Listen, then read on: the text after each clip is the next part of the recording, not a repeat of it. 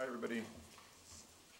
Uh, As David said, my name is Chris Bavitz. I'm Assistant Director of the Cyber Law Clinic, which is based at the Berkman Center and here at HLS. And we are um, uh, kind of a traditional legal law school clinic. Our students work on a wide range of issues involving technology, intellectual property, speech, privacy, youth online safety. We have a, uh, a number of our clients in the room today, so I'm thrilled they're here, as well as some of our students, which is great. Um, For those who follow news about the news, you know that today's topic of, the topic of this first panel is just about as, as hot a topic as you can get. We're going to talk about a wide range of issues relating to news aggregation websites, about websites that compile and link to news stories that are found uh, from, from third-party sources.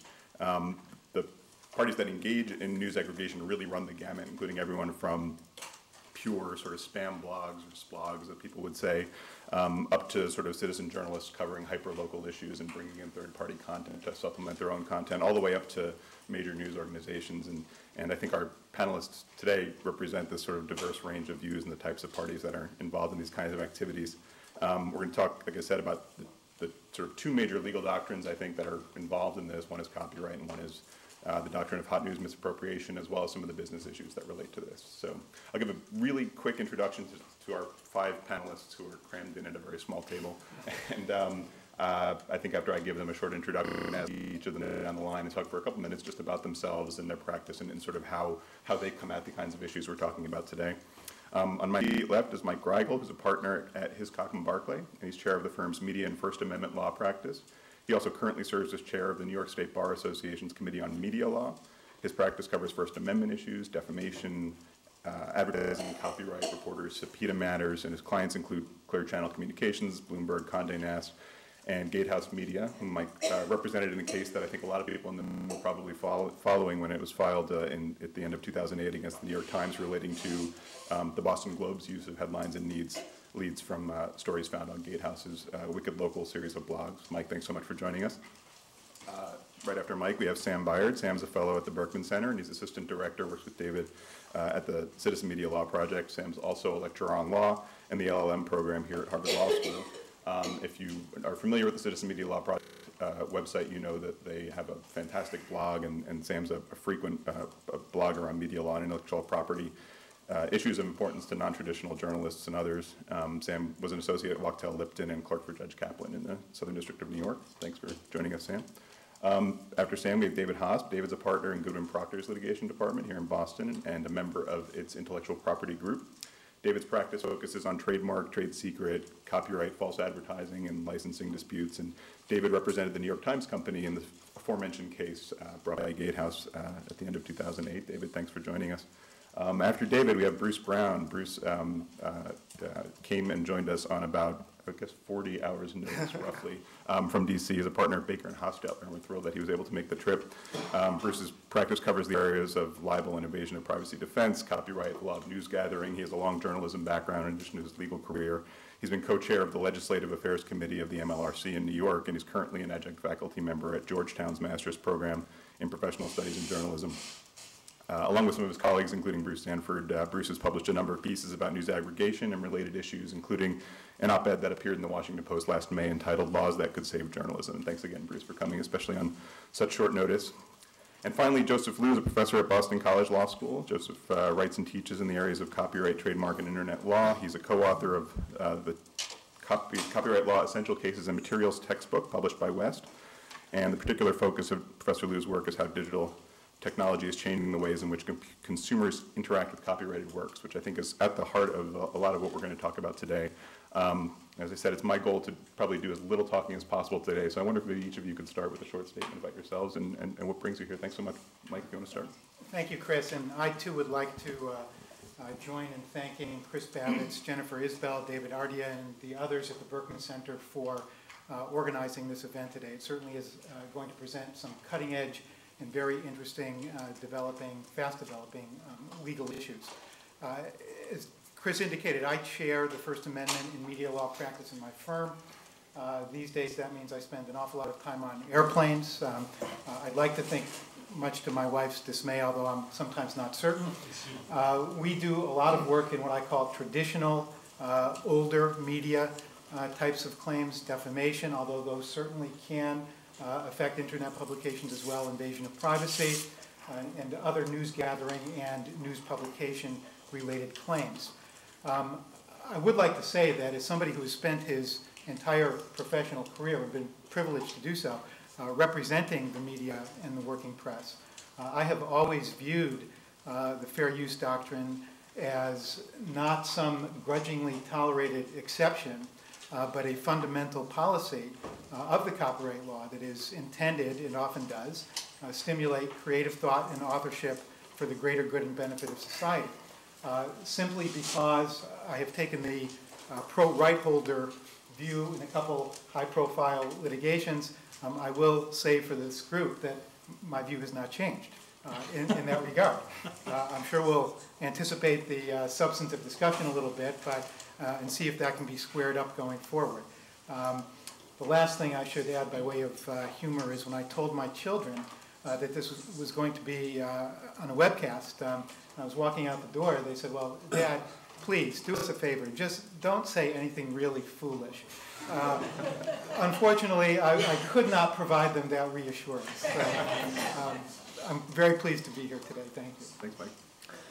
Hi, um, oh, I'm Sam Bayard, and I'm the Assistant Director of the Citizen Media Law Project. Um, so I'm sort of the in-house uh, guy uh, from the CMLP today.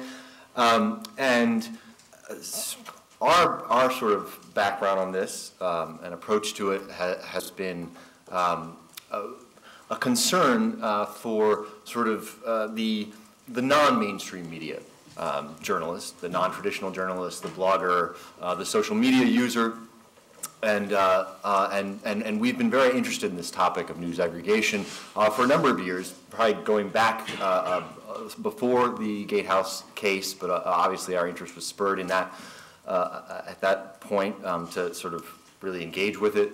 Um, and I, I, think our orientation to the issue um, is that um, on the, on the, on the uh, copyright issue, on the fair use issue, we, uh, we want to emphasize, I think, that, uh, that there are lots of different types of activities that, that are, are referred to under the label of news aggregation, uh, and that depending on what activities we're talking about, uh, the fair use analysis, analysis certainly um, should come out differently.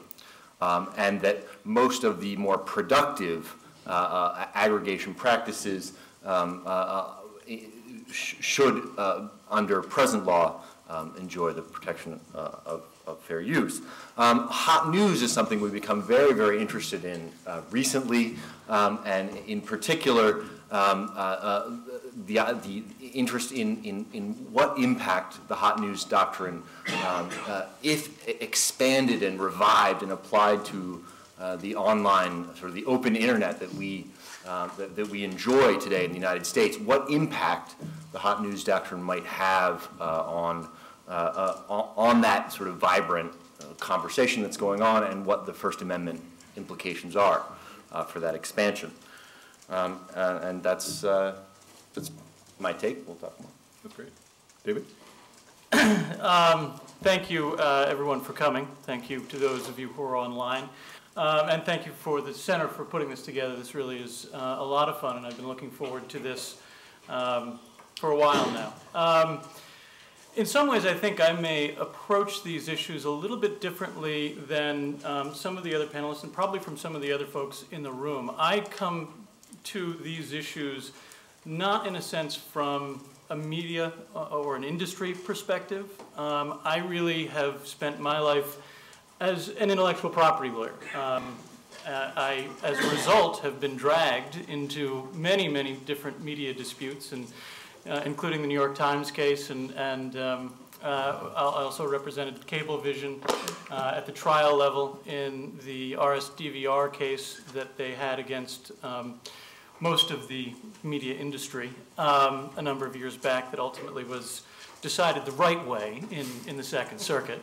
Um, and so I, I really sort of do come from, come at these issues from a, a very traditional um, intellectual property bent. Um, and that's where my analysis tends to start.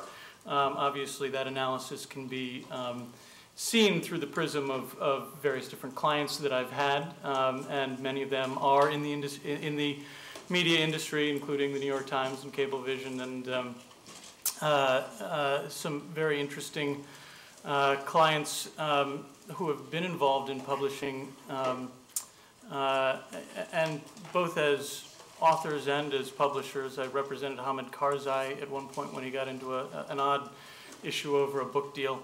Um, and uh, I also, in a sense, um, come to this from a, from a slightly different angle, uh, in the sense that when it comes to watching um, the media world change and content provision change, uh, I have a vested interest in it. Uh, I'm, uh, my day job is as a uh, lawyer. I'm also a novelist, and I've had four novels published around the world in nine different languages, and um, watching watching the industry change and trying to figure out how content is going to be protected um, and encouraged uh, is not just a professional interest to me, but a, but a personal interest. The latest book, by the way, is called Among Thieves, came out a bump, about a month and a half ago. Got great reviews. If you guys like thrillers, please, I need, I need the money, so go on, buy it. Bruce? Great, well, I guess I've been looking forward to this for about 36 hours. Um, um, But it's great to be here, and it's great to be a sub, because um, clearly I can take a pass on the tough questions, because I didn't have a chance to do any of the homework. Um, Just to get my biases out on the table, um, I worked in, um, in in print media before I went to law school. I worked for David Broder Washington Post for a couple years, and then did some stringing for The Economist when I was in law school, and then after law school, um, I worked at uh, American Lawyer Media at Legal Times um, down in Washington, where I wrote about the federal courts. Um, uh, so I have a, a print media background that's going to give me a bias. My clients are in print media. That's going to give me a bias. Um, I'm not on Facebook. I don't have a Gmail account. Um, I've never been on Twitter. Um, my poet is still Yeats. My band is still the Beatles. I am clearly of the old century. Um, but saying all that, I love the internet, um, but I love journalism, and so one of the things that I've been working on over the last couple of years is trying to do some writing about what we can do in the way of public policy uh, to help journalism survive the transition to the online world. And when it comes to hot news, uh, my colleague Bruce Sanford and I, as Chris mentioned, uh, did a, a piece last year where we looked at some of the different things that Congress might be able to do um, to give journalism a boost uh, online. And we felt that there had been a lot of attention in the 90s to what tech needed in the way of public policy. It got the Communications Decency Act, it got the DMCA, and, um, and now it was time to give some thought about what uh, could be done for journalism. And when it comes to hot news, um, we would like to see an expansion of the hot news doctrine. It is a, is a doctrine that exists in just a handful of states now, and we are in favor of uh, federalizing it. Um, But at the same time, we believe it is a doctrine um, that should be used sparingly and um, uh, for only those situations where there truly is a, a systemic uh, free riding uh, on the hard work that journalists do uh, to put out the knowledge we all need on the internet. And that we, c- we believe that we can federalize hot news, make it available um, nationwide and not just in the handful of states where it currently exists today. And that that, we believe as First Amendment lawyers, would be consistent with um, keeping the internet um, the vibrant speech community that we all very much want it to be. Thanks for being here. So, uh, yeah, so I'm uh, Joe Liu. I'm a professor at uh, Boston College Law School. Um, and I want to offer my thanks too to the center for uh, putting together this terrific panel. I think it's a really fascinating topic. Uh, I also want to congratulate the center on uh, launching the, the initiative. I think it's a great idea, and I wish you the best of success with it. Um, so uh, my main area of focus and research is copyright law, um, and in particular, I study how rapid changes in digital technology are changing the way in which consumers interact with copyrighted works in terms of getting even more access to them, being able to manipulate them, send them to other pe- people, transform them, and all the rest. Uh, and in particular, how existing laws, you know, facilitate or hinder these kinds of efforts. Now, um, I think this is relevant to the topic for today because um, I think it's pretty dramatic the changing nature of patterns in which consumers consume news. Uh, I'm actually old enough to remember the days when you had to wait for the uh, afternoon edition of the newspaper uh, or the evening broadcast to find out what happened during the day. Um, things are incredibly different today. Uh, the amount of uh, information that's available, the immediacy, the number of sources that it's coming from. Um, and so a lot of the same questions that I look at applied to other industries um, are relevant here.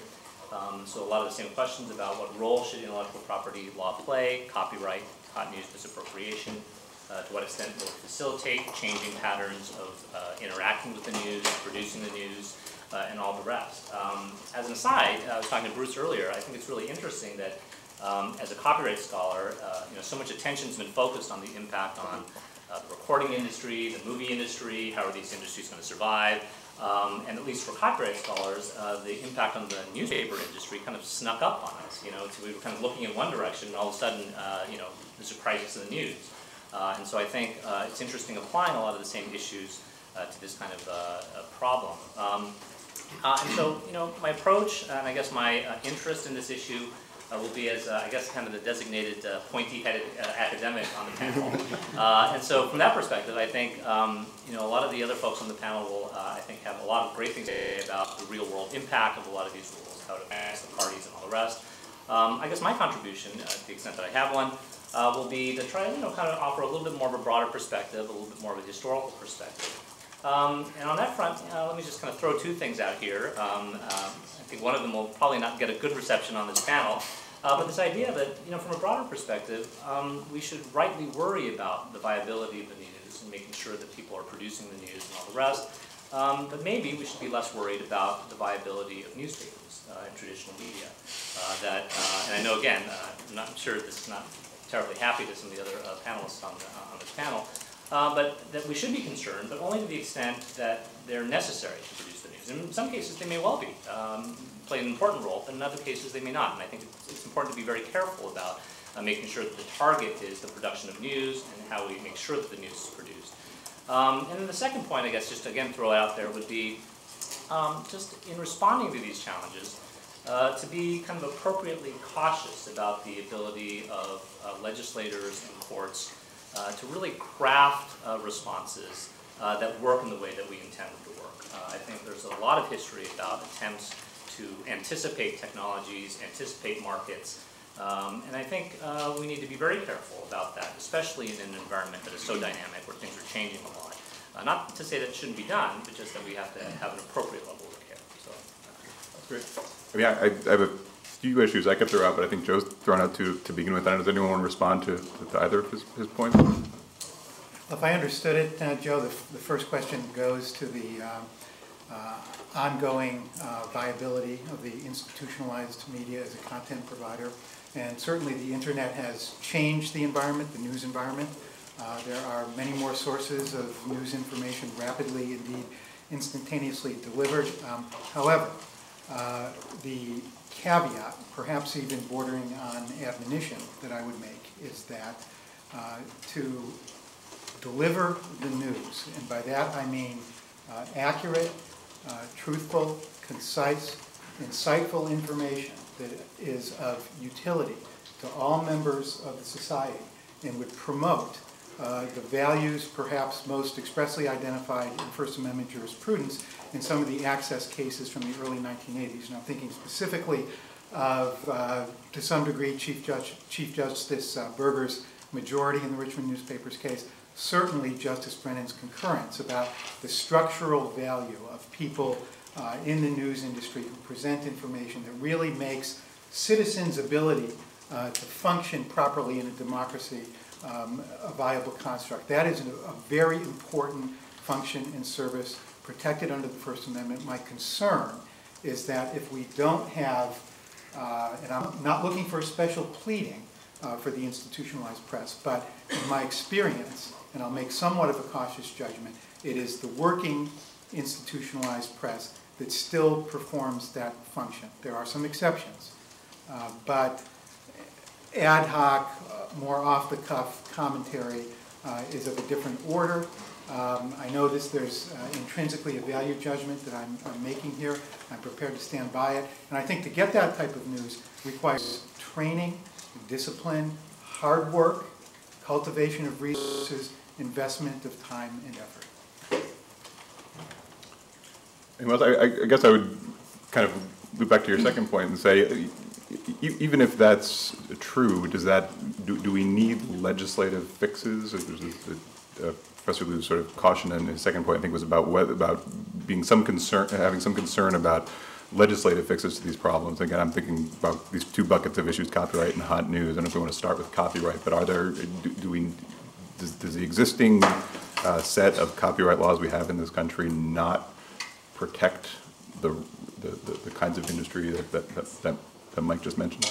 Well, I- mean, bef- before we get to the, the legal analysis, it seems to me in terms of um, analyzing the business model and how we address all of that, I mean, you know, there has been in the traditional media, um, from, you know, my observation, somewhat of a monopoly in the sense that there was an, this enormous barrier to entry for other players, which was the distribution aspect. Um, and that really has gone down. I, again, coming back to sort of the intellectual property aspect to it, look at it and wonder, okay, how is it that we do protect it and how do we monetize it? To some degree, because the, the, the barrier to entry is low at this point. There's a new barrier to entry, I think, though, that again, when you talk about the value of the information, the value is in the accuracy. The value is in the hard work that's done uh, underlying the reporting itself. It seems to me that, that in the future, you're going to see inevitably um, trademarks actually playing more and more of a role in terms of adding value to those who produce the news. Because what you're going to see is people are going to look for the sources that they actually trust.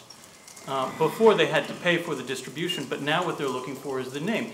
If you, if it's coming from the New York Times, are you more likely to trust it? And therefore, are you more likely to go to their website? Are you more likely to trust, trust Fox or CNN? You're also going to see a branding, and you've already seen this, not only online, but, but in terms of the network and the, and the, um, uh, the cable news networks, a branding in terms of ideology. You see that online, you see that on television. Again, a lot of this comes um, not now from the copyright aspect, but from the trademark aspect. And that's to some degree what's driving viewership and eyeballs. Yeah, Just to pick up on a couple of things. Um, You asked about the lack of clarity in the law, or do we need more protections? I, I do think when we get to talking about the Gatehouse Media case, that's a great example of where you looked at the situation, and you thought, well, is this copyright? Um, Is it hot news? You know, we're still early enough in figuring out how these two doctrines relate to each other that um, uh, there may be cases that aren't quite perfect copyright cases, and maybe they might belong um, in hot news. Um, And then we've got Feist out there and the loss of sweat of the brow, and that affects, affects the picture. Um, I would say in response to Joe's comment that um, uh, certainly there are some who think that codification of hot news brings a risk because you're locking in a test uh, when perhaps what we want is to give courts more of a common law freedom to develop the law. Um, My partner David Marburger in, in Cleveland has written about um, clarifying that copyright shouldn't preempt uh, hot news in the states and then letting the hot news doctrine um, develop in the states. That's another way to go if you, did- if you were uncomfortable with the idea of, of actually codifying the Motorola factors, for example, in a, in a federal um, hot news law. And I do think when the press, um, the institutional press, uh, pushes these issues uh, as a legislative matter, that it is important to remember that at least as a matter of constitutional law, when we push the preferred position under the First Amendment in the seventies, that we were unsuccessful in that area, and that what we're, we need to kind of broaden the way we think about some of these issues and, and um, really couch them as protections that would apply to any industry that puts out information that requires uh, resources to gather information and then publish it. Uh, In the hot news area, we'll get to it, the last big case we'll all talk about was brought by investment banks, not exactly uh, the the lobbying colleagues we thought we might have for expanding the hot news doctrine. Um, But there it is, and, um, and the case we all look to, the Motorola case for what the factors are for hot news, of course, was brought by a, a sports franchise. So there are other industries that are interested in the protection of information. Um, I'd just like to pick up on, on Joe's point a little bit about the business model stuff before we get into the doctrine, and just raise the, the possibility, um, or well, first to say that I totally agree with you that, um, as a, a social good, that investigative journalism, uh, that uh, accountability journalism, these, these are, I don't think anyone's questioning that these are uh, important social goods that we should figure out as a society some way to support and sustain, right? Um, but, but I do want to raise the possibility that I, I'm not sure that what ails the news business right now um, can be fixed uh, by, by dealing with this problem of free riding or appropriation. Um, uh, as you say, there's, there's an issue of um, the monopoly, the, the whole, the, the whole um, sort of business model of the 20th century that was built on extracting monopoly rents and, and uh, local papers that were one town, uh, one paper towns, and there are tons of different uh, sort of forces at play that may be causing these problems, and and maybe we can we can raise this today, and maybe you guys can point out where, is there empirical evidence that's showing that what ails the news industry and what's causing uh, the problems is uh, news aggregation or, or bloggers or spam blogs? Is that really the economic problem, or is there a bigger economic problem that we as a society have to face rather than trying to, to fix it through intellectual property law? Just chime in really quickly on that last point, I think um, one of the things that to me is so fascinating about this topic is that when you contrast it to other industries that are under pressure, like the copyright industry, uh, sorry, the movie industry, the music industry, uh, which have kind of faced this issue maybe you know a couple years ahead of the newspaper industry and the broadcast media industry, um, that you know the, the, the threat there was a lot more immediate, right? You could kind of see what's happening. It's the you know the college student with a lot of time on his or her hands with access to like BitTorrent uh, and uh, Napster, right? Uh, and it was a very easy story uh, that you know people are downloading and not paying. Um, with the newspapers, I think it's it's much more fascinating because it's it's so complex. Um, there are a lot of things happening to the newspaper industry. Uh, the impact, part of it might be the lack of intellectual property protection, but it might be other pressures that are facing it. Um, you know, kind of the peeling away of classified advertising by Craigslist, Craigslist, right? yeah. Uh, completely unrelated in some ways to copyright. Um, and so there are a lot of things going on, so I think it's harder to diagnose what's happening, and it's harder also to see the way through, right? And what the future of this industry is gonna look like, I think is quite uncertain. Well, and you, you can also see that in terms of the way the disputes arise, because you would think that there would be an industry position and a non-industry position, or maybe a traditional industry position and a, and a, you know, new media position, but that's really not the way that it breaks down. I mean, in the case that, that Mike and I were on opposite sides, um, on, you know, uh, we represented, I represented the New York Times, which obviously is one of the sort of uh, pillars of, of the old established media. And yet, we were the defendants in that case uh, because the, the New York Times and the Boston Globe functions both as a traditional media provider, but also engages in um, linking, engages in news aggregation. And so you really sort of um, have this disconnect um, and, and this difficulty in necessarily predicting who it is that's going to be on what side of which dispute. And, and the, the disputes end up being so factually driven um, that, it's, that it's sometimes difficult to draw out larger principles from them. No, I, I agree with that. I think the lines do blur. And uh, I think, Sam, you just, in a very uh, comprehensive, articulate way, set forth the uh, global problems about the industry business model. Uh, If you could answer the question you posed, you can make an awful lot of money as a consultant, um, because a lot of people have spent a lot of time thinking about this. But I do agree with Dave. I mean, all um, media companies today are not just uh, uh, originators of content, but they are also aggregators, you know, to some considerable degree of content. So the lines do tend to blur a little bit. And just to add, to add to that, I was mentioned to Joe before the panel started that, in talking to a friend at the Washington Post um, over the weekend, he had said that you literally have a situation where half the newsroom wants to just turn Google off, and then on the other half of the newsroom, there are people who call Google and Yahoo every day to try to get their stories up at the top uh, of the aggregators list. So there is this real schizophrenia um, in the industry, and but I do think that there is a place for hot news, but perhaps less in the context of of, of media companies suing each other, because I think we wouldn't see a lot of that. I thought the Gatehouse case was unusual in that way, but maybe it does have a place for um, a, a company that um, that is putting a lot of content out there, going after someone who's putting no content into the system at all, and is simply just scraping the content that someone else is um, putting on the net. And I think the fly on the wall decision is sort of interesting because one of the things the court looked at was whether fly on the wall did any kind of original information gathering and news gathering on its own. And even though you, it's not quite clear, you know, how that fits into the Motorola test, it was, it was used by that court, and it was a factor in its decision. And I think in any use of the journalism industry, of the hot news doctrine, I think the plaintiffs would pick their cases very carefully. They'd pick the cases they would win, right? They would pick the cases mostly where they felt they were going after organizations that were just standing outside the door, metaphorically here, and just taking your content, linking to it, selling ads around it.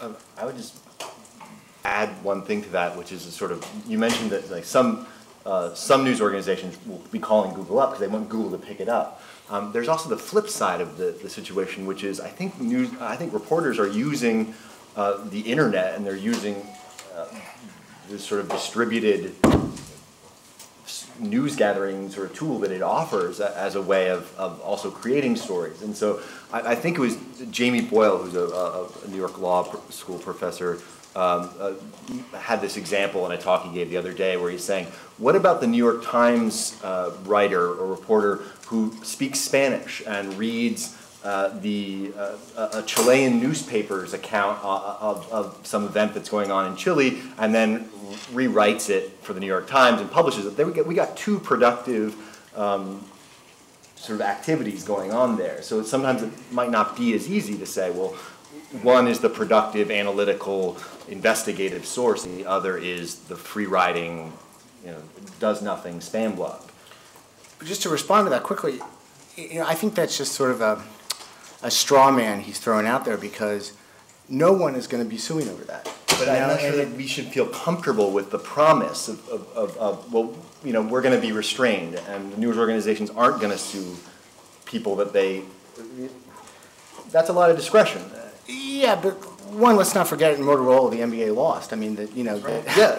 Um, and, but I think that when people throw out examples like that, it doesn't reflect the reality of how the, the doctrine would be used, where I think companies would carefully look at situations where systemically, over a period of time, there was a, a widespread pattern uh, by an organization that probably doesn't do any news gathering itself. Um, and so there was an example, big Outlook piece about six months ago, Washington Post reporter really upset that Gawker had taken one of his stories and Yeah, I had remember that, repackaged it and got a lot of attention, that story did. But um, it was in New York, Gawker's based in New York. The Washington Post could go after Gawker in New York because it's one of the state that, states that recognizes hot news. But of course they wouldn't do that because Gawker is not the kind of company that you're gonna. This is, this is and one it's of a the problems with the test, is that it, you, you don't know who's a competitor and who's serious enough. And, and, and that to me creates at least some speech issues because you have people guessing whether they're a serious enough competitor. You have people guessing whether their activity is systematic enough and is it analytic enough, is it productive enough, you know. Yeah, it, it also strikes me that one of the problems that you're gonna face, and you face this both in the copyright context and, and in the hot news context, because ultimately, when you look at fair use and hot news, there is in both instances, this issue of what's the real impact, what's the economic impact? Um, and that, to me, particularly in a world that's developing, um, technology as quickly as we are evaluating what the, that impact is gonna be, is gonna be very difficult on a case-by-case basis. I mean, take, for example, the news aggregation system, where it really depends on what, what you're doing. The fly on the wall case, to me, isn't really what I think of as a news aggregation case at all. There was no linking involved to that at all. I think of uh, an aggregator, you know, and there are a thousand different definitions, but my own personal one is an aggregator is someone who is providing a headline, a notation, something to somebody else's story, but then linking back to that story. And, and there is this significant question of what is the value that that person is taking and what is the value that that, that, that person is providing back to the original source. And so, and, you know, as technologies develop quickly, you know, linking is, is today's issue, but there's gonna be a new issue tomorrow, and, and assessing the, the long-term economic impacts of that in the context of a litigation are very, very difficult to do. I think a situation where, for example, you know, as in fly on the wall, somebody simply taking, um, a piece of news, and I actually don't entirely agree with the fly on the wall decision in a couple of aspects, but take, take a situation where someone is actually just taking the news and summarizing, putting it on their site without a link back to anybody else who- that they're taking it from. That, I think, is prob- probably an easier case, because there, you, you have a more clear example of competition, because nothing's going, nothing is going back to the original creator. Um, But there are gonna be situations um, where the value of this is difficult to anal- to analyze, again, both in the copyright context and in the hot news context. I think, uh, just following up on that really quickly, um, I guess a question for, you know, Bruce, David, and Mi- uh, Mike, um, about exactly this issue, kind of the economic impact of the linking. Um, and the reason I find that really interesting is because, um, linking cases do seem different from your misappropriation cases for exactly the reason that David mentioned, right? That in INS versus AP, in NBA versus Motorola, in the fly on the wall case, you're taking someone else's information, uh, you know, changing it around, sending it out to the world. Uh, the linking cases, though, um, where's the misappropriation, right? Um, you're linking to stuff, so in some sense, you're directing traffic to that site, but it's not like you're taking the news uh, and then reselling it, right? Um, you're just linking to the original page. You might be misappropriating the headlines, and I understand that, that's a different kind of issue. But how are you misappropriating the news? Um, where's the misappropriation there? Well, I, th- I think it's a, it's a little harder fit on the facts for the mis- uh, hot news misappropriation doctrine, but I think, again, context matters. Uh, and if it is something that's repeated seriatim, and there's a vast panoply of another news organization's content, even if it's just a headline uh, and a lead that is linked to, uh, then again, I think it's a, a- a closer call on even hot news misappropriation. Um, and it also raises some interesting uh, fair use questions. Um, but I, I think uh, The short and the long answer to the economics, it seems to me, is with, with the linking, and um, I don't think anybody on any side of the question really feels that there is uh, anything inherently problematic or unlawful uh, to linking alone.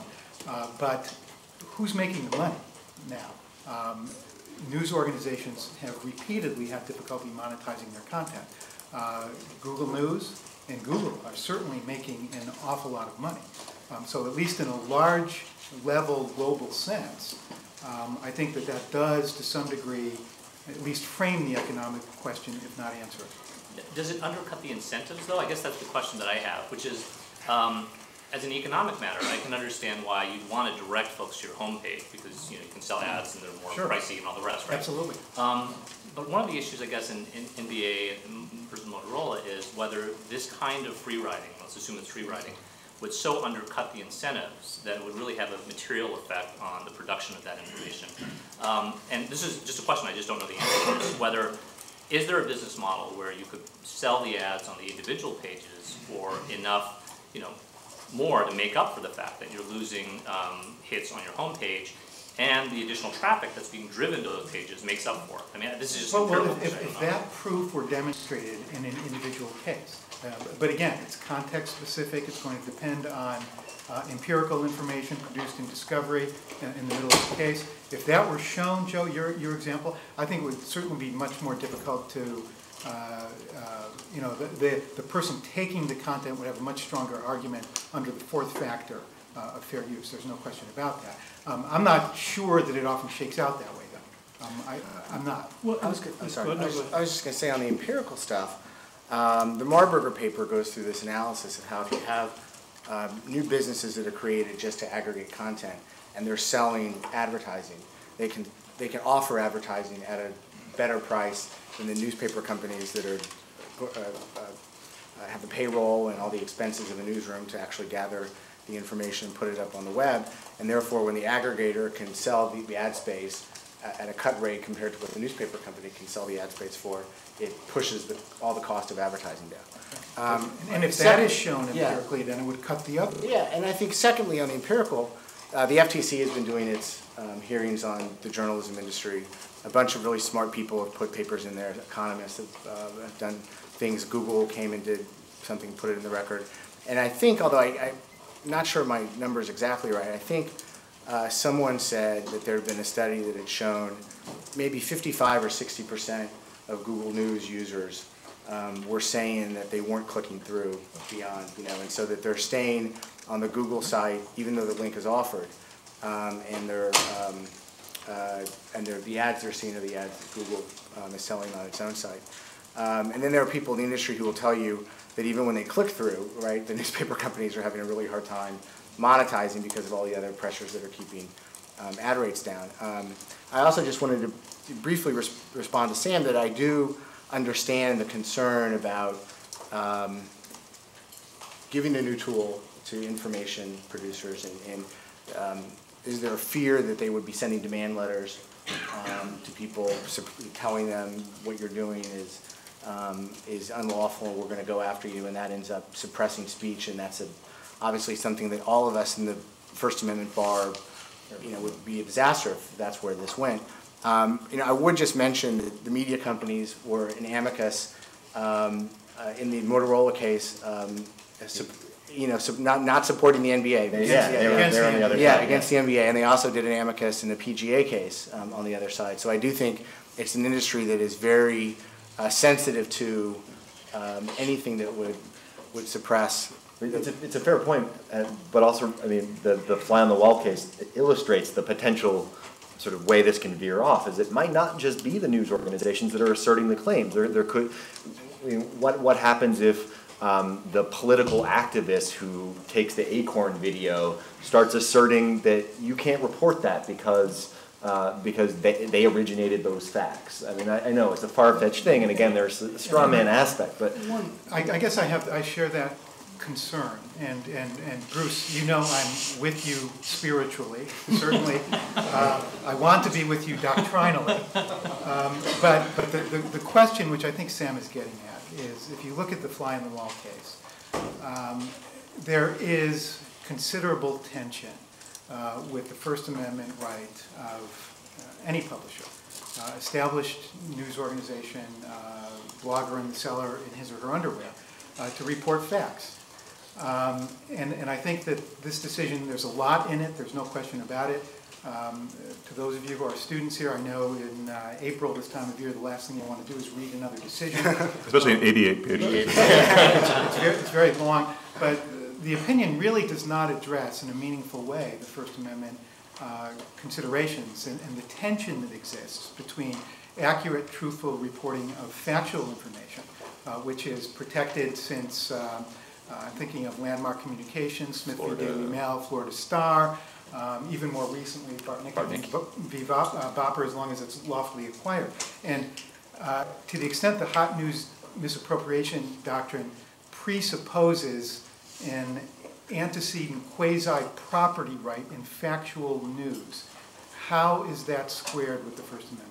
Well, and I think in, on, on the fly on the wall case, it's, it's, again, I'm not, I'm not on board with the reasoning of the entire decision. I agree with some of it, but not all of it, because again, from my perspective, um, you know, the ultimate upgrading or downgrading of a stock in particular, to me, is in fact independent news. Because whether or not the underlying analysis is correct, if Barclays says a stock is, you know, is gonna go up, the stock's gonna go up because, because they have such enormous market power. So to me, I, I'm not, I'm not entirely in agreement with the analysis on the ultimate decision of should that fact be protected. Now, the underlying analysis, I think, is a separate issue. You mean what And the think- firms did to come up with their Right, recommendations, right, the underlying exactly. evaluative work and analysis? But copyright should go a long way to protecting that. Exactly, and, and they could also protect it under contract principles. I mean, I, one of the, and again, I I. think, I think that is, I, I think that's an important part of the opinion, but I think it is protected even under, under established copyright law. Look at Justice O'Connor in the Feist case, she says, this comes to the distinction between, uh, creation and discovery. And certainly where you're talking about the underlying, uh, investment analysis and the hard work done to crunch the numbers and come up, uh, with a report and recommendation, to me, that's creation. But again, but again, that to me is an easy, in a sense, is an easy case on a number of levels in the sense that you know that there is an economic uh, impact on the producer in that case. again, I keep coming back to, you know, for example, the case that we had, and, and, you know, I'm, I am a, a trial lawyer, you know, sort of by vocation, and the reality is, there's a practical problem with, with a lot of these issues, and that is, particularly in the context of a preliminary injunction, or as you see more and more courts doing these days, uh, an order for trial within a month. I mean, initially, when the, when the case was filed, Judge Young, it was filed on December twenty-second, and Judge Young initially ordered us to be trial-ready by January fifth. So we had to do all of our discovery, find our witnesses, find our experts, and get it all done within a week and a half over the Christmas and New Year's season. Um, He was. We were just trying to write a blog post about the complaint before heading off for Christmas break, as I recall. You guys had to, to do the work in the case. And he, and, you know, I mean, he ultimately took pity on us and put us off to the end of, of January, but, but there is this aspect of at that speed and dealing with new technology, coming to a conclusion and actually proving whether or not there is harm or is not harm, and what the economic impact of new technology is, is virtually impossible, even in the hearings that are going on. There've been a lot, there's been a lot of evidence submitted on both sides, and looking at it, I think there are good arguments on both sides, but I don't know that I can look at that evidence at, at the moment and say definitively, you can say what the economic impact is, and you may have looked at it more closely than I have, but I haven't, I haven't seen that yet. Um, So, I mean, there is a practical problem in terms of the, the judicial system dealing with it, uh, under these principles. I'm Um, sorry, I was just saying, you think it's enhanced because of the injunctive remedies?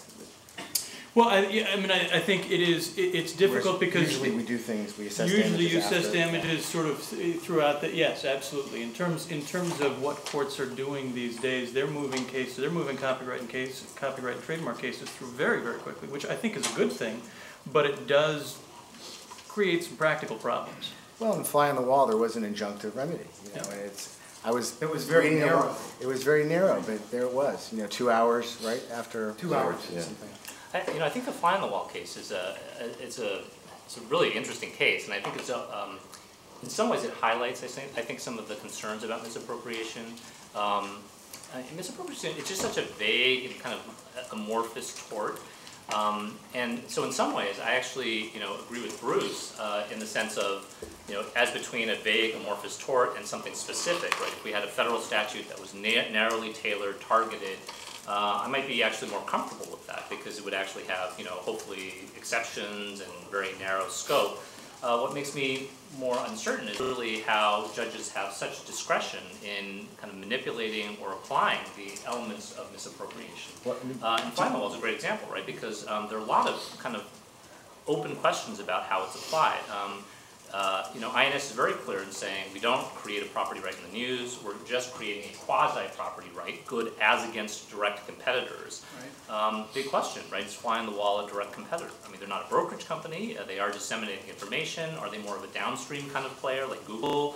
Um, you know, it's kind of glossed over a little bit. Um, Isn't that the a- question you raised a couple minutes ago, Sam, Well- about the line drawing Yeah, the, between qualifies? the line, I mean, and uh, just to add on to that and to make the, the, the point about fly on the walls, is, isn't aren't the banks gonna now have to sue Bloomberg too? If you look at the injunction, it actually says you got a year to go sue everybody else that's doing this. Yeah. And so it's not just Fly, it's gonna be the, the financial news, uh, companies as well, and, well, that's, I thought that was one of the most interesting aspects, that the injunction in the case says that Fly can apply to modify or vacate the injunction in a year in the event that it can demonstrate the firms, Barclays et al., have not taken reasonable steps to restrain the systematic unauthorized misappropriation of the recommend, of their And- stock and- recommendation. And I, and I wanna make a further point about INS, which is that there, I think there's this sort of difficulty or tension in trying to take INS as a case that was from nineteen eighteen and plug it into the world of fly on the wall, right?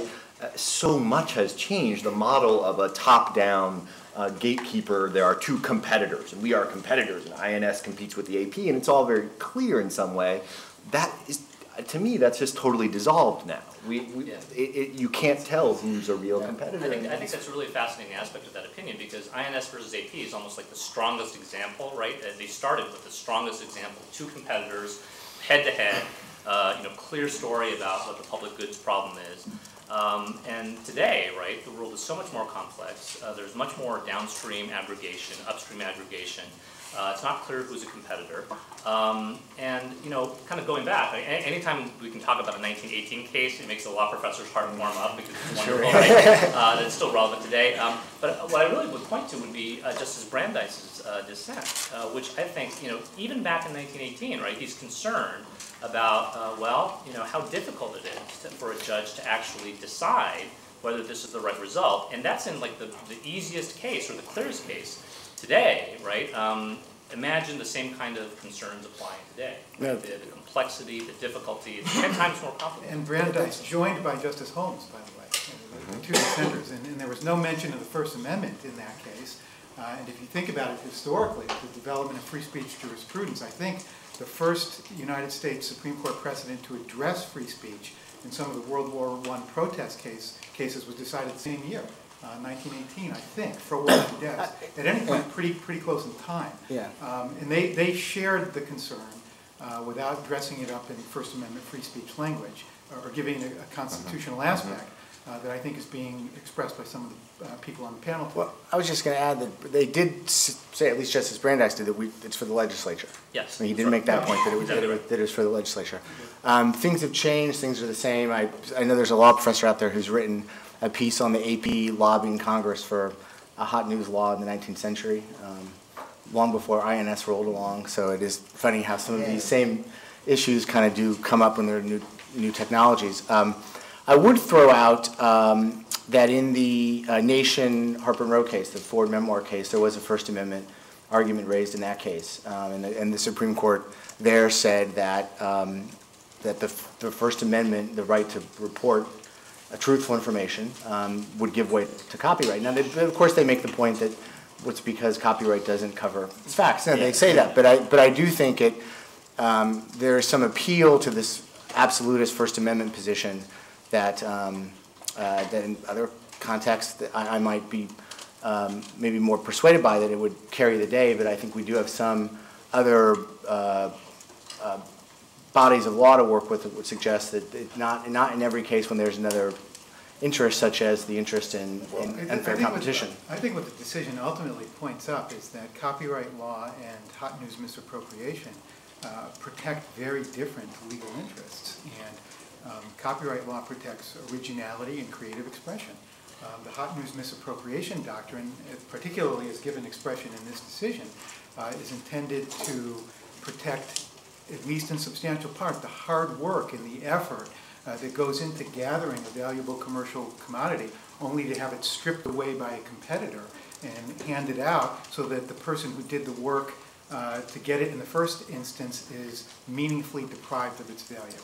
And, and I think that's the added ingredient that you get here, um, that you certainly don't get in a copyright law case. And that is most clear, again, I think, in Justice O'Connor's decision in Feist, where she says, we don't really care about sweat of the brow. That's not what copyright law is all- about. It is a very big part about hot news misappropriation. I mean, I don't know, it, it, it feels, it feels like uh, the, the fly on the wall case applies the hot news doctrine in a context that is, that is so different that I, that I, I wonder how far you can go with any applicability of the case in the future. I mean, it fe- it feels to me like the financial services business model is so different from what we're talking about. Um, and I, I, I don't know, I, I, I don't know if you guys have a view, other than, other than upholding the notion that hot news is alive and well, I I wonder how far you can really apply the case. Is that because of the type of fact we're talking about? Because it's a subjective fact as opposed to the fact about my phone number and the street I live on? Well, it's, it's a number of different things to me. I mean, first of all, I have some question as to whether or not the hot news doctrine needs to be applied in, in this context to begin with, because you're talking about a financial model um, that, where they're providing service to a fairly limited number of customers. They've chosen to make that open. They could very easily have a license to use that information, to hear that information, and, and by contract, because they are actually dealing directly with everybody who gets that information, either it's their employees or it's their customers to whom they're actually having phone calls and, and there is a direct contractual relationship, you could write that into the contract that says you're not allowed to disclose this. They did. Yeah.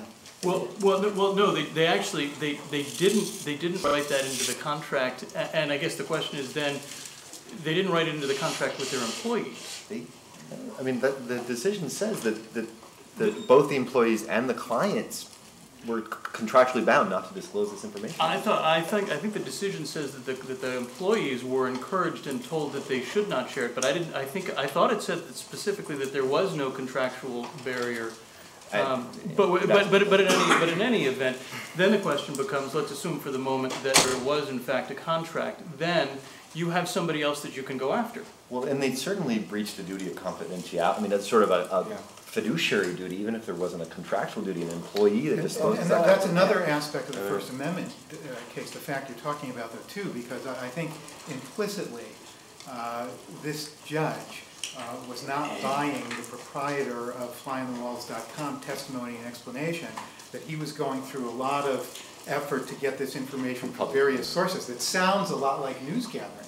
When you read the, those pages of the uh, Yeah. decision, pages thirty-three and 34. He goes to. Bloomberg, he goes to the chat rooms, Absolutely, that sounds just like what a phone. reporter does. Yeah. Uh, but here, I think this, this judge viewed this as, uh, the fellow's name who ran Fly on the Wall, uh, had all these relationships with sources inside the brokerage houses, uh, who were illicitly giving him the information.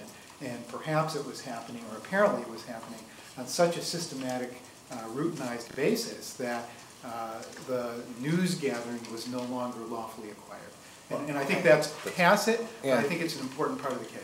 Well, I have to confess that I have written one of these big bad demand letters in past years to fly on the wall. Only- only No, actually, to fly on the wall. Um, disclosed here for the first time. Um, we had a newsletter client, financial newsletter client, about four or five years ago, just pulling its hair out because fly on the wall within 10, 20, 30 seconds of a newsletter making a recommendation by email to its subscribers was putting the same recommendation on its own website. And particularly when the newsletter publisher was putting out uh, recommendations in small cap stocks where there was a lot of volatility, uh, their readers were complaining, saying that by the time I got your email, that today was the day to go buy XYZ Corp, it had already bumped up. And why it bumped up? Because Fly on the Wall uh, had subscribed to the newsletter, and the minute they were getting the recommendations, they were putting them on their own website. It, so we did a hot news demand letter. Didn't take that long to do because there's not that much hot news law. What, what took longer was finding where to send it, um, and, and who would fly. This was four or five years ago. Who would fly on the wall would respond. As it turned out, um, um, they never responded, but they stopped doing what they were doing, and we discovered that they were a subscriber, and so we did by our subscription agreement Change. change the language, and so the publisher figured out what to do. Fly on the wall may be doing the same thing, or may have been doing the same thing to other newsletter publishers, but decided in this case not to. Well, you know, Fly on the Wall also sued its com- another I competitor. saw that. I'm just like, they, they, they made the same, very same arguments. Another atmospheric that really impacted this decision, you're coming to me uh, saying you didn't copy, uh, commit copyright infringement, but you sued someone who did the same thing to you, and the same thing on the commercial hot news misappropriation claim.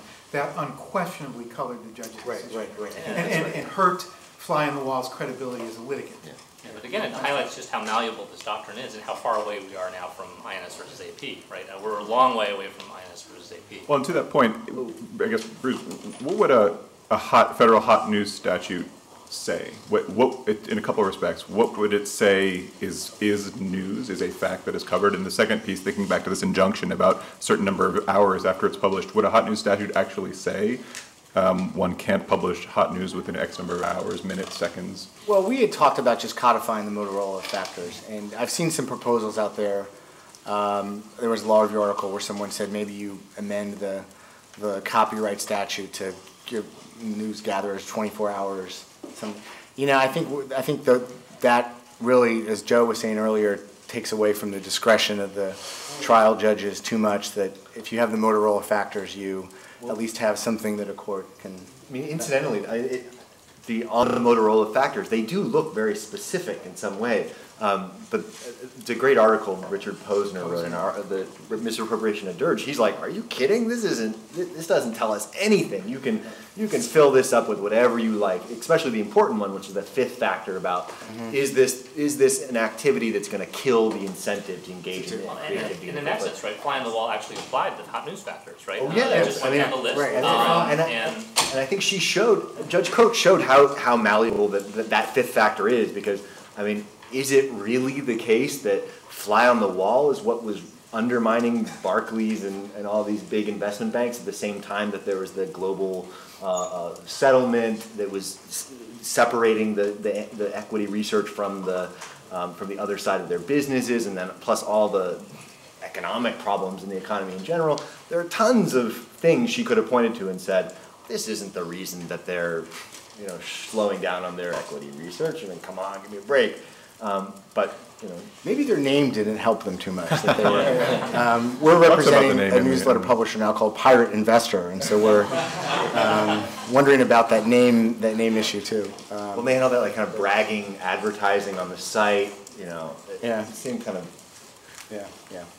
I guess I circle back to something we talked about very early on, and I'm glad David did some sort of definitional stuff, because when I was looking at the title of this panel, the word news aggregate, where's news aggregation means so many things to so many different people. I was, read a lot of articles about this stuff, and you'll hear people talk about news aggregation, and then cite statistics about websites that copy whole articles and post them online, which I, I don't think most people would argue is a problem. It's a pr- pr- pretty straightforward copyright situation, obviously, that's sort of piracy. But I think that the, the paradigm news aggregation thing we all think about is the headline in the first couple lines in the story. And to move from news misappropriation sort of back to copyright law, um, there's, I guess, two arguments to have about, about this issue. There's the fair use issue, is lifting the headline and the lead, is that, um, is- that a fair thing to do? But before you even get to that, you have to determine, is it infringing? And is there, is there any ar- argument to be made about the protectability of headlines and leads to begin with? Is there, you know, we, we all have this doctrine nailed into our heads that short phrases and titles are typically not protectable. Um, Any thoughts on that from a copyright perspective? yeah, oh, I, you know, I think, I think Mike is exactly right, that it depends on the context a lot, right? You can imagine a range of different cases. Uh, you know, a single headline, a single sentence from a lead, uh, you know, um, either too short to be, uh, copyrightable or not infringement or not, you know, or fair use, right? But when you, once you start talking about aggregations, right, um, uh, and the selection and the arrangement of the headlines, uh, a whole series of them, uh, then I think there is, uh, you know, quite a decent, um, of action for a copyright infringement? I think at that point, you're, you can plausibly make the argument that, uh, when, when it's that far-reaching, um, that you have the, the creative contribution that journalists and editors uh, and newspaper writers make every day in deciding uh, what news to cover and what to present uh, to their readers. And I think there is a much, uh, a collective good that inures to the benefit of society through that process. If that is somehow taken away uh, or usurped in a meaningful way, then you're really almost intruding on the editorial discretion and function of the news organization. Yeah, but- But the, the closer call, and I, and, you know, Dave, you and I have been uh, We spent a lot of time guess this- together. This is, this is the time in the discussion where I should acknowledge, you know, I'm, I'm thankful we don't have to scream at each other in front of a stenographer anymore. Uh, But, you know, it, one, one headline uh, and an accompanying lead. Um, I still think you can credibly take the position that, or the- the answer in my mind would be, Chris, it depends. Uh, We're all aware uh, of uh, the titles and short phrases issue. Um, And there is a line of cases uh, in candor that's problematic for copyright protectability, uh, applying that doctrine. Um, The merger doctrine as well. But I think the applicability of the merger doctrine depends on the specific content of the headline. To me, there's a very big difference between uh, publishing, um, I guess I'll take the first game from this week, Red Sox nine, Yankees seven, uh, or New York City is bankrupt, as opposed to Ford to, City drop dead. I mean, to me, the latter is unquestionably creative expression that merits some degree of copyright protection, along when accompanied with a lead, uh, which any journalism professor, any working journalist is going to tell you about the hours in journalism school, learning to craft uh, sentences that will invite the reader in and their creative expression. Um, I think at that point, you can make a very credible argument that they're subject uh, to and deserving of copyright protection. I know this is going to shock you, but I disagree. Uh, um, You know, I, I think, I think an argument can be made that in a perfect world, that should be protectable. Um, I think it's difficult to make the, the argument that under the, the current copyright regime that it is protectable. That, I mean, ultimately, I don't think that there is any dispute that there can be creativity that goes into uh, a headline, that there can be creativity that goes into a lead. I think, I think everybody would, would agree that, that that can be the, the case. And there can be, you know, headlines that are, again, you know, Red Sox ten, Yankees one, and that's, you know, not particularly creative. When was that? I don't remember. I know, well, you know, leave me alone, okay? Uh, I can dream. Um, But in terms of the protectability of the headline, I keep coming back to what is the work? You know, and the work is the article. Um, And so the, the, you know, the, the work is not, in essence, that, the headline. And, and there is a fairly established line of cases that, that says that, you know, short phrases, titles, leads, uh, par- pardon me, take the, the, the headline first. That, that titles are not protectable. Now, maybe there is a, um, you know, a public policy argument that that should no longer be the law, but from my point of view, I, I think it is the law. The leads, I think, is, is a more interesting question.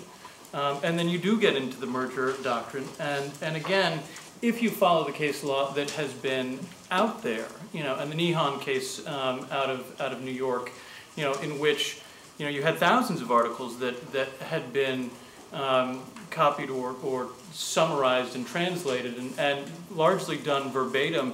And the court had held that only in about fifty-six of them, I think, where, uh, where more than half of the article was copied, could you really state a claim for copyright infringement? And, you know, there's a, there's a fairly substantial line of cases that I think it's, it's difficult to overcome with respect to, um, whether or not it is in fact, um, a copyright violation. Now, don't get me wrong, I, I don't think it's been definitively decided, and it If would you- have been If you can show fine. me a case that says definitively uh, headlines are not subject to copyright protection, I'd like to see it. I haven't yet.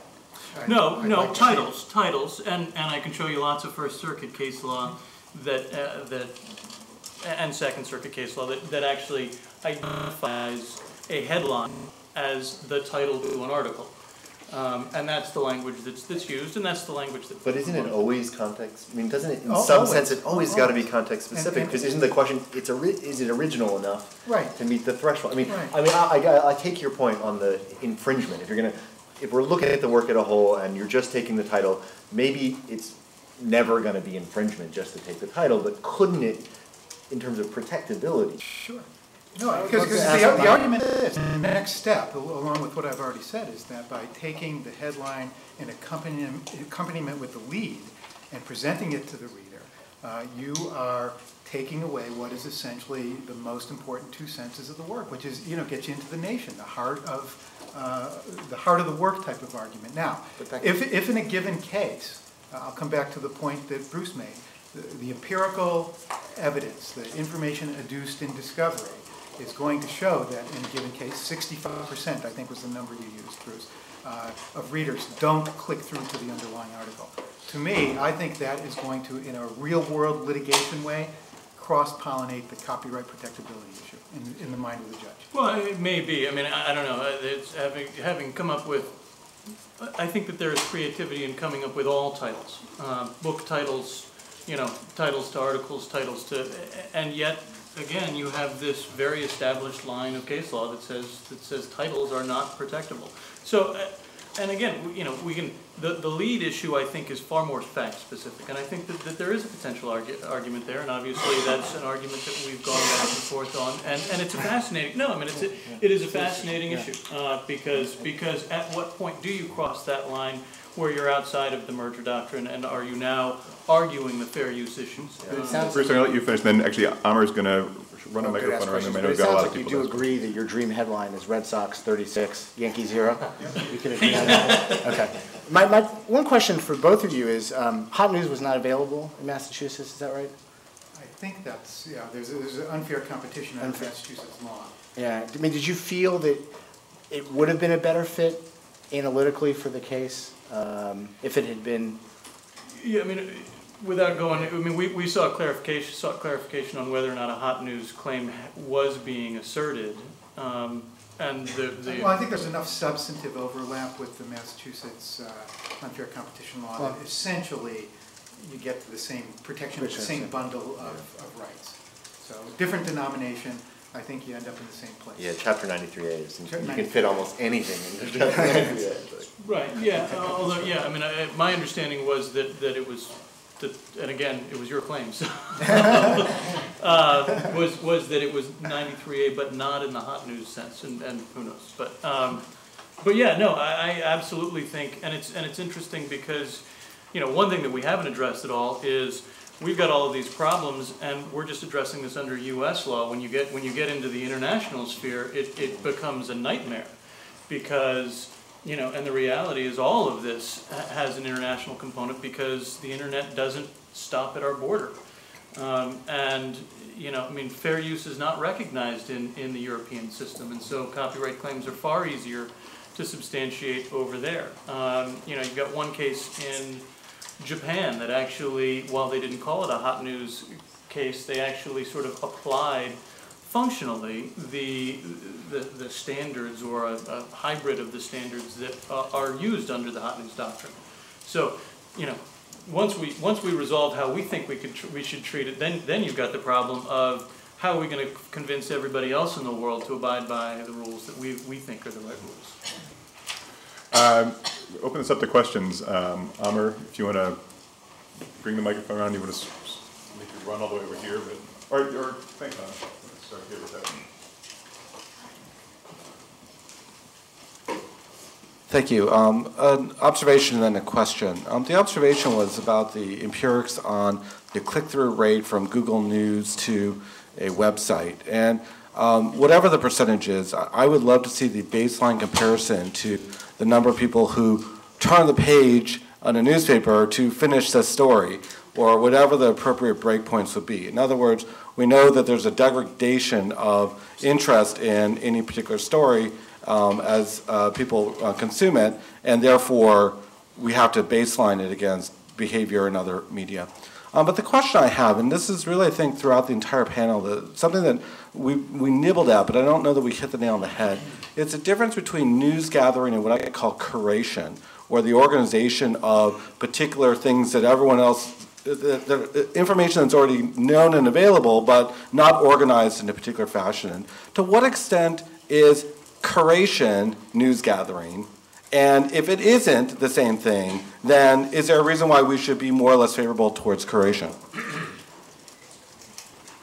I'll say something about the last point. I think, I, I think, that's a really uh, interesting point, and I think, um, you know, it does go to this question of, uh, you know, if you go to the fly on the wall case, right? Um, the judge talks about how what fly on the wall is doing is adding no value, right? All they're doing is, uh, you know, reporting these facts, gathering it, uh, and then spitting it out, doing no work on their own. And I think your question goes to exactly that, right? Uh, is that really true, right? Are they really doing nothing, right? Um, or are they doing a real value in collecting this information, disseminating it? Um, in some sense, right, Google does no more than simply collect stuff, right? Um, but they have enormous value. Um, and so that's why I think, you know, this idea of um, kind of gathering things, uh, gathering, curating, uh, selecting, um, there really is a lot more building than maybe people uh, otherwise, you know, think about. And this shows up in the fair use context when you talk about copyright, right? In uh, the first factor, uh, in the Perfect Ten case, in uh, you know the, the Kelly versus Arriba Soft case, where you know the courts acknowledge that there can be some value from uh, these more literal forms of copy. And so uh, I, I'd be you know sympathetic to that kind of argument. I, I would just jump on, ju- just to, re- I would jump on to that, opinion, I think it's gonna come in the first factor of fair use a lot, this issue, and uh, my sense is it's a productive public interest use uh, of the information, and that it should receive un- some recognition. And just to back up, actually, just I, qualify. I- I, I think Yeah. that the, the value added function of what Fly on the Wall was doing, to my way of looking at this was marginal. You know, so I'm. Yeah, yeah, no, and, I- and I totally would, I would agree on the facts of fly on the wall, but the way we need to think about it is there are other sites, other journal, journalism-oriented sites, new modes of journalism that could rely on No, if, if what you mean by, by curatorial function is uh, what I conceive of as the typical blog model, where Uh, Somebody's looking at, at something, an article, and then says, hey, here's what so-and-so says today in such and such a place. Here's a, a link to the underlying article. Here's what I think, here's where I disagree, here's where I agree, here's where I think this is valuable. Uh, Is that fair use? To my mind, absolutely. And I think there's ve- very much value added there. You could also imagine a site that's sort of, um, a subject matter oriented site Yeah. that curates Sure. all stuff about Yeah. global warming. Yeah. And they aggregate it all and they use robots. I, I agree. Or, you know, you I I think it's a, a bit of a harder call. Yeah, But I think it's- in all it's- argument. it's protected. Yeah. Um, But, but let, let's say, for example, uh, if anybody watched the end of the Masters last night, where um, during the press conference, uh, when Tiger Wood, Tiger Woods is facing the audience just like we are, uh, he got one difficult question uh, from a reporter who was not identified by her surname. Her first name was Christine. I think it was Christine Brennan for Brennan. USA Today um, who brings a very unique gender perspective to a lot of her sports commentary, and I think it's tremendously valuable. Uh, What if the Huffington Post uh, starts putting up uh, a list of her columns, headlines, and links? Uh, Here's the last five or six from Christine Brennan. Uh, Is that fair use? Um, I have serious misgivings about whether that, that example would qualify as fair use. I know that's a significant departure from what was implicit in your question. Um, But it takes us back to the definition, the threshold definition of what is news aggregation. Well, and your, your second question plays back into sort of an implicit question in your first comment, which is, which is, again, what's the value that's added back to the people whose information is sort of curated? Take, for example, you know, a- a Drudge Report. You know, there are, he's obviously established uh, essentially what is a trademark-driven um, business where people go to him because he has a particular point of view and he gathers articles that people feel will fit his, fit their point of view or that they disagree with or that they are interested in. You know, what's interesting to me again on the damages issue is, um, you know, if only, you know, if sixty-five percent don't click through, how does, how has the total pie grown in terms of people who are now aware of an article that they otherwise never would have, would have come across? And so even though, you know, X percentage don't click through, the numbers are so much greater who now have been shown that, that the, that the overall traffic grows enormously for an article that's on a site that, normally doesn't get that kind of traffic. That to me is why the damages issue is so tricky, tricky to deal with and the, and the issue of what are the incentives and, and what is the actual impact? I'd love to get your perspective, Bruce. I know you touched on this a little bit actually in the Washington Post piece. that you Yeah, I was just gonna add to that, that, uh, just a bit, that sure, the, the curatorial function is an incredibly important one, and nobody could imagine what the internet would be like without companies that do that for us. And I think what, what Bruce Sanford and I have tried to do is just argue that that's part of it, but it's not all of it, and that we have to have some public policy that also uh, incentivizes people to create, or there won't be anything left to, to curate. Um, it's, and it's amazing how quickly, right? I mean, this is just a self-evident thing, how quickly all these changes have come upon the industry. But for me, um, I always think back about the Unabomber, that when he wanted his manifesto published, the most important places in the world to get that in were the full of the New York Times and the Washington Post. And 10 or 15 years later, we know he would put it someplace else on the web, and it wouldn't be in those places. And those, those spots where our cultural and political conversation used to take place have changed dramatically.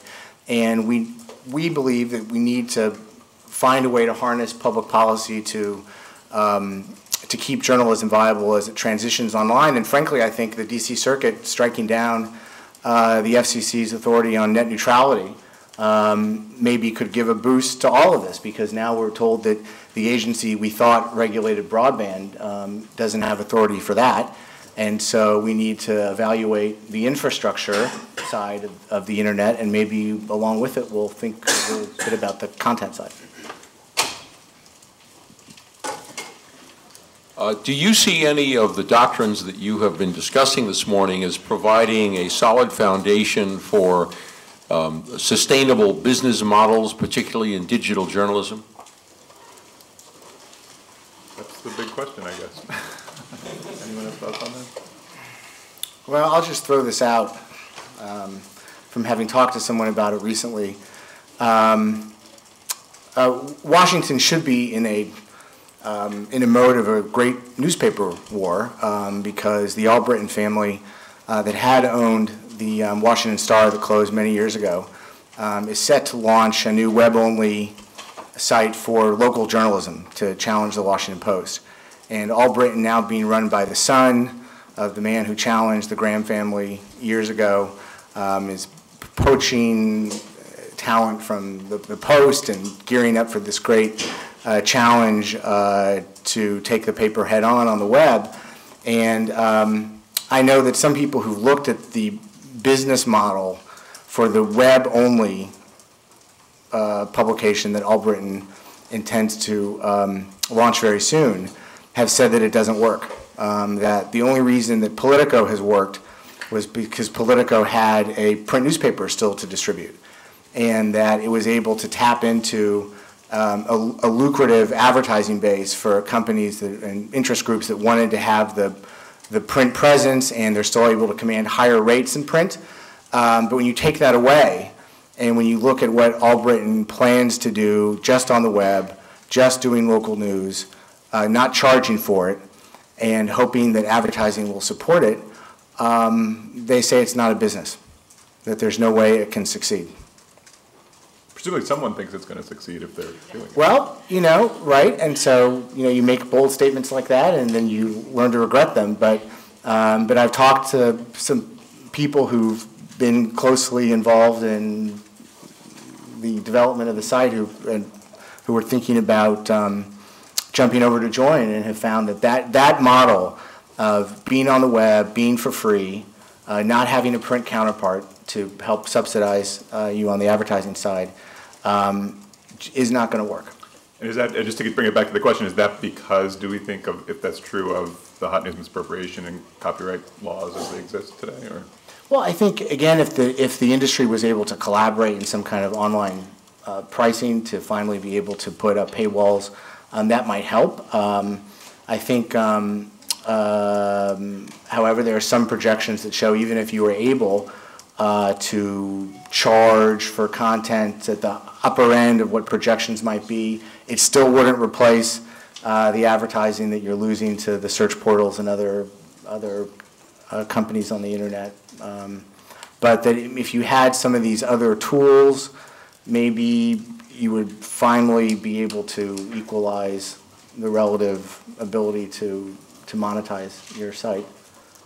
Um, uh, Just a, a, a different observation. Um, Clay Shirky, uh, who's a, a scholar in the field of trying to deal with what, what we do about journalism's future, has the, uh, what I find to be just a very convincing argument about um, the crisis that newspapers uh, and other news organizations are undergoing right now, um, and uh, whether or not you buy the specifics of his argument, um, he, he, he makes a proposal for sort of what the way forward could be, um, not necessarily for newspapers, but for journalism, right? If we get back to sort of the function and the social good we're worried about, um, and his view, again, you know, it's not the only view, it's one view, is that we need lots of experimentation. We need lots of experimentation by relatively small players um, that, that, that, rather than uh, sort of a save of, of the incumbent larger players.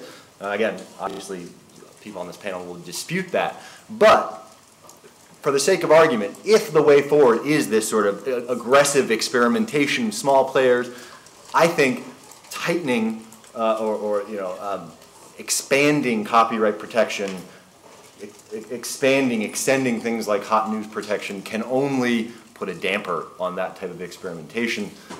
That's my two cents. Yeah, uh, my, my impression from talking to, you know, people in the industry is to some degree, it's, it's less the, um, the legal regimes that are available that are causing the problem and more figuring out really how to monetize online content and, and to, to, you know, I, my own personal view is the tools are there, certainly if you combine all of the theories that we've talked about, you know, all the different regimes that we've talked about today. The question is even with those, you know, with so much free content being available out there, is it, is it going to be, you know, how much can you monetize it? Um, and is it going to sustain the infrastructure that's necessary to produce good, reliable news reporting? Let's try and get a couple more questions in. Anyone?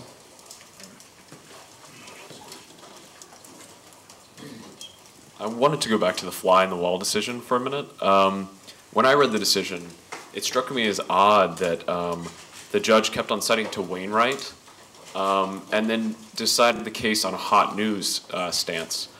And it seemed to me that one, it would have been a lot easier just to apply Wainwright to the facts of fly in the wall, um, especially because of the parallels to Castle Rock. And maybe these facts aren't really facts; they're created by an author. You know, it's not a fact that the stock's going to reach 350. Um, you know, it's someone's opinion. And then uh, combined with that, I'm wondering if it's a good idea to have hot news and copyright overlap. And if copyright applies, then shouldn't that just automatically preempt um, hot news, especially on the last factor? Because you could sue uh, under copyright theory, so there's really no uh, danger to, you know, your your underlying work. So, say a couple things about that. I think, um, I think it is interesting the, the status of those particular facts, right? Because there's a whole line of copyright cases that deal with these so-called created facts.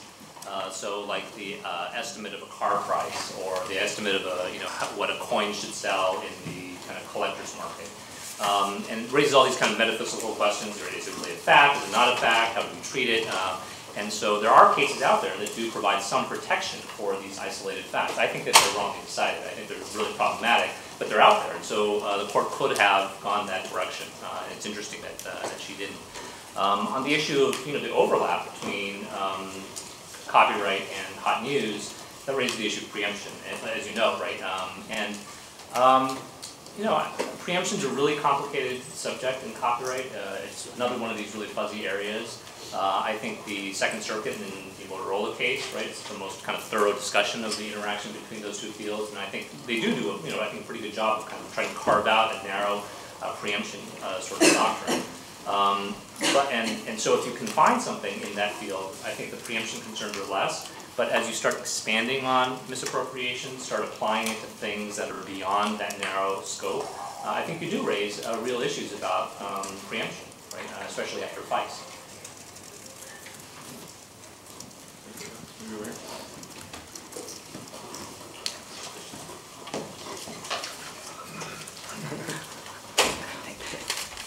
I'd like to ask as many of you who want to to respond to a hypothetical. The hypothetical is uh, you're in the office of the CEO of your client. Your client is a major news organization, say, just for example, News Corp.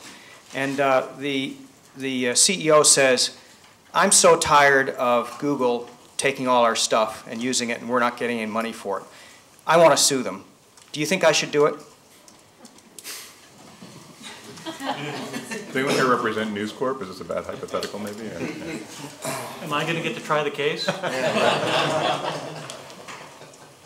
I think, I'll, I'll take a stab at it, although I, I'd love to take the case. Right. Uh, um, And I, and I note that even Google News has engaged, I understand, in some licensing agreements with uh, news content providers, including AP.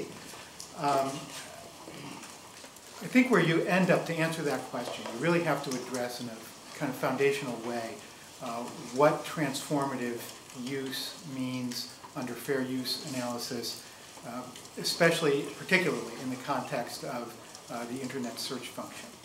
Um, I think if you go back and look at the Perfect 10 v. Google case, uh, which is really the linchpin that most people uh, engaged in news aggregation in the broad sense uh, view as giving them uh, the ability to do that without running afoul of the copyright law. Um, I think that bundles together a, a number of things, and I know we're running short on time. I'd have to give you a long answer, but the long and short of it is, I, I and I know this is going to be in, probably an unpopular view, uh, but I think the Google case there, uh, there was a great deal of result-oriented nature to that decision. Um, I think that uh, certainly at that point in time, the court viewed, uh, Google is not really a news content originator. Um, I think that it's one thing to say uh, the, the company that is a, performs this societal index, indexing function contributes meaningful social value by allowing new information to be located on the internet. Um, okay, I get that, I can accept it within the context of that case. I think there are limits on exporting that rationale to other news aggregators. Um, Because uh, there, it's, a- and also Google is user-generated content. You know, the user's the one who initiates the search. I think it's a different thing, especially if it's a competing news organization, to select information from your competitor and then present that in some sort of aggregated format. Um, So, the long story short is, I think if you're going after Google, um, given the Perfect Ten case on transformative use as held in that case, uh, it's probably a difficult argument. But I would say that that rationale, as I hope I've uh, made somewhat clear, doesn't necessarily translate uh, to other news aggregation contexts. I would just jump in. Um, Sure, I'd sue them. I'd, I'd sue them. Um, They said they do settle most of their cases, so. Um, and there's a reason when they've been sued, I think, that they settle. We'll see if the one in New York settles. In the end, if the consent decree is approved, you could sue them under two theories. You could sue them as an aggregator, um, and you could sue them as a cacher, right, because they store the full copies um, in their server, which powers their search function. So you have the aggregator theory and you have um, the, the cache theory. Um, and, you know, as we've heard today, there are just a few cases out there, and we've picked over them as best we can, but, but there's not a lot of precedent yet. I think that, um, particularly on the cache side, um, Google would be horrified to lose a case like that because it really powers their whole business model, right? They can go out onto the web and, and copy everything. And well, you've got to put up a robots text file if you don't want to be a part of that. And um, when I've spoken about this issue, that's what everyone always says. Well, it's, it's simple. Google makes it easy for you. Um, just put up the text file, and then you're out. Okay, um, a company that has its own foreign policy, right? As people were saying a couple weeks ago about Google and China, um, is a is a company that even a powerful news corporation on its own really doesn't have leverage with. Not even an industry has leverage with Google. And I think one of the real disconnects we have in the, our policy, right, is that we've passed laws to enable companies like Google to grow because they have all the safe harbors. Um, but we really haven't given content producers the leverage to be able to um, bargain with Google um, in order to extract some kind of, of real revenue sharing with the money that Google makes off the advertising from the content that all of us put on the web, and pretty much have no choice but to give Google for free. And the few license agreements they have are with wire services that don't really have their own websites that they commercialize, and they keep their content hosted on Google's website. And so that's where you've got the licensing agreements. But I think if someone fired a shot at Google, it would get all of us thinking more about how it is that we try to rebalance the playing field a little bit with that company. Um, I have a couple comments on that. One, um, on the cache argument, it's a really interesting argument, but it would, and it would have a serious impact on what Google does. I wonder, though, under the fair use analysis, um, whether, I, I don't see much effect on the market. Um, I'm not sure how that, their caching of, of that information affects the market negatively for the, for the original work. In fact, it probably uh, improves the market for the original work. And that leads to my second point, which is you spoke about this leverage that Google has. Um, and I'm not quite sure what I understand about that, except that it seems to be an unwillingness to not use Google's services, right? I mean, it's not like Google is strong-arming you into taking positions that you, don't want to take or um, uh, robbing you in some way. It's just that they're, it's an unwillingness to, to not make use of their search function, um, which I think cuts, uh, cuts against, uh, Well, I think the reality is that there's one search engine on the planet that matters, and it's Google. And even though you can opt out of Google, um, you know, you could have opted out of AT&T 30 years ago and just not had telephone But doesn't that mean they're helping your business, not hurting it? Right? If, if you won't, if you can't opt out because it'd be so damaging, then they're helping you. And then, well, so If how do we you can get go over, I would them? love to continue to Helping. to have this discussion. For a couple, two more minutes. Yeah, I mean, what I would just say is that, I mean, this is how the world developed, right? The net came along, um, Google in ninety-eight starts doing what it does so well, right? It's an incredibly innovative company full of really, really smart people. And the journalism business thinks that, well, this is the way to go. You're on the web for free. Um, Google will point readers to your site. Um, you'll find a way to make money when all those, when all that traffic comes to your site. And that's how you'll transition to the online world.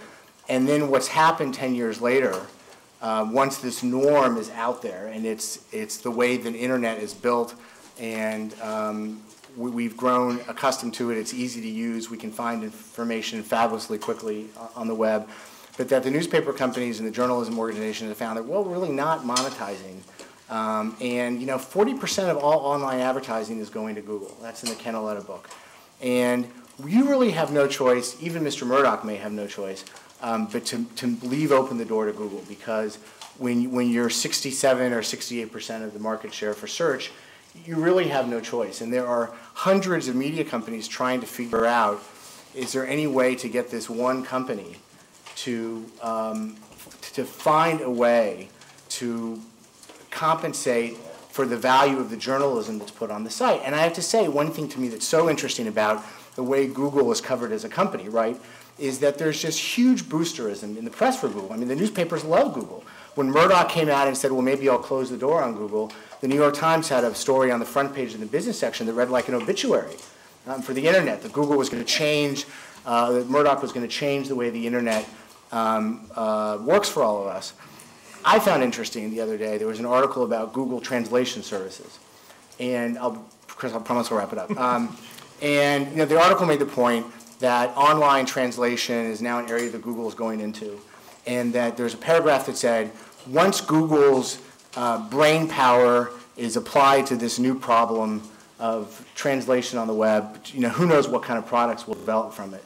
Well, what I want to know is why that brain trust at Google um, also can't figure out a fair way to help the companies that build their cache for them and therefore built their business for them because there would be no advertising for Google if there wasn't content going into Google to find a way to share the revenue that they get from the Can advertising. you, can you separate the search function from the Google News? I mean, I think of it as Google News as being the real problem, and I think of, of the search function as probably really actually driving traffic to sites, whereas there's a better argument, whether or not a sufficient argument, that Google News is really a more of a, more of a, of a potential competitor.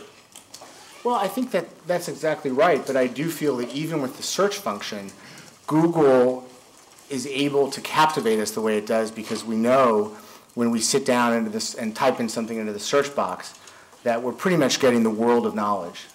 And you know, it may be that there is a challenge in figuring out how to quantify the value that journalism creates for Google uh, in some precise quantitative way.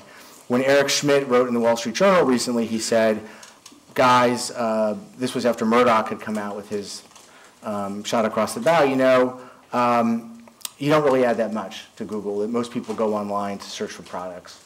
They're buying a toaster or a Kleenex or something, or yeah. Um, but I think that, um, you know, that's the company's answer, really, right? Um, and I think that um, uh, that same brain power, the brain trust of Google that can solve problems like online translation services, I think could also come up with some algorithms to figure out what kind of value and goodwill they get um, from being the repository for journalism. And was it- I think we're gonna- I we think may we're- get an answer to some of this. There was just a class action filed against Google yesterday or the day Mhm, right. before uh, by a group of independent photographers based on the Google Library Mm-hmm. project. So we'll see if this gets litigated all the way through. I think we have to wrap it up, unfortunately, because this was great. We'll continue it over lunch. Joseph, Bruce, David, Sam, Mike. When Mike's kids watched this on the internet later, your, your dad did not make a fool of himself, which is good. Um, Thanks, everybody, for coming. We're going to walk down that way. I assume